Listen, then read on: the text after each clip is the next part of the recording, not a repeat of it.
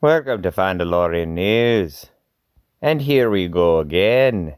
We've lost another icon.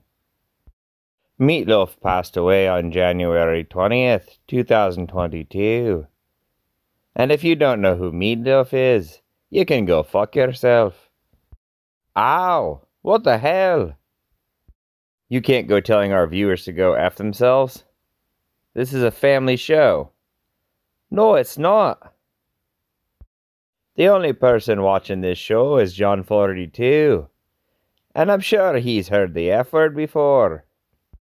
And if he's never heard of meatloaf before, I've got to ask what he's been doing with his life. Now get over there to your side of the desk and let me finish my report. Sorry for the interruption. As I was saying, Meatloaf died on January 20th, 2022. He was most known as a rock star, with his most successful album being Meatloaf's Bat Out of Hell, and its follow up album, Bat Out of Hell 2, which produced his most successful song, I Would Do Anything for Love, but I won't do that.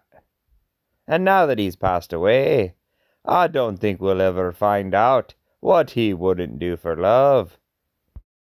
Meatloaf was also a successful actor, making his big screen debut in the 1975 cult classic, The Rocky Horror Picture Show.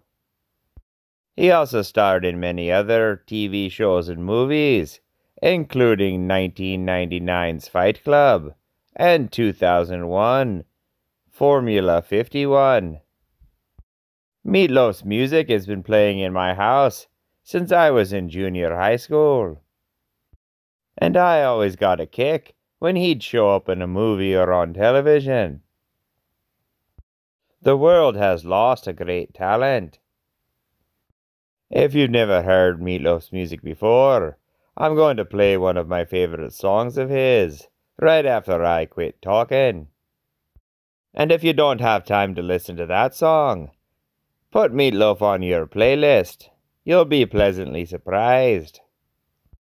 And remember, in death, members of Project Mayhem have a name. His name was Robert Paulson.